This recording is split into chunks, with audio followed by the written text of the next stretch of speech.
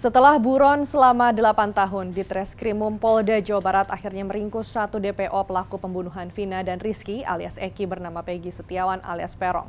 Pelaku ditangkap di kota Bandung, Jawa Barat selasa malam.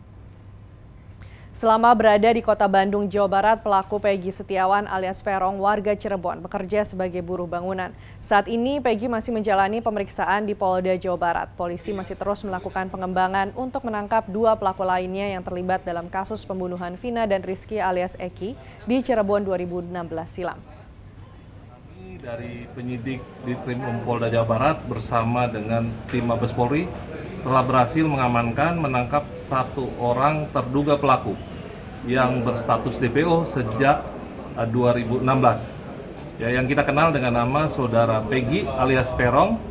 Atau saat ini kita uh, berdasarkan informasi yang kita dapatkan bernama Peggy Setiawan. Seorang warga Cirebon ya yang bekerja sebagai buruh bangunan. Tadi malam kita lakukan penangkapan kita amankan di kota Bandung jadi yang bersangkutan selama ini uh, bekerja sebagai buruh bangunan di Kota Bandung. Sementara itu, pasca ditangkapnya Peggy sejak Rabu siang hingga sore, polisi menggeledah rumah Peggy di Desa Kepompongan, Kecamatan Talun, Kabupaten Cirebon, Jawa Barat. Selama tiga jam, Satreskrim Polres Cirebon Kota menggeledah dan meminta keterangan tiga orang keluarga Peggy. Sejumlah alat bukti diamankan polisi dari rumah Peggy. Usai melakukan penggeledahan, polisi membawa barang bukti ke Polda Jawa Barat.